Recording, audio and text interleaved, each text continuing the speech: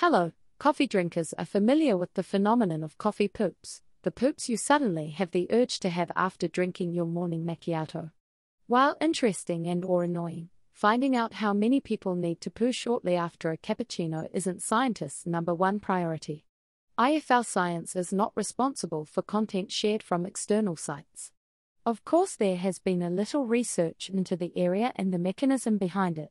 First off, any liquid will help stimulate bowel movements by softening your stools. However, small studies have shown coffee gets the bowels working, including one that placed a 6 sensor solid state probe up to the mid transverse colon of 12 healthy volunteers. The authors concluded that coffee, decaffeinated coffee and meal induced more activity in the colon with a greater area under the curve of pressure waves and a greater number of propagated contractions when compared with water. This suggests that thanks for watching.